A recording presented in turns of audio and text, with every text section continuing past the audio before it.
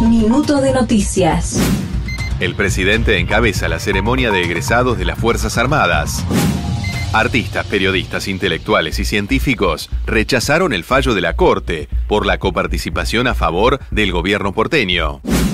Kisilov presenta en Mar del Plata el operativo de Sol a Sol 2022-2023. Se duplicaron los casos de coronavirus en Jujuy.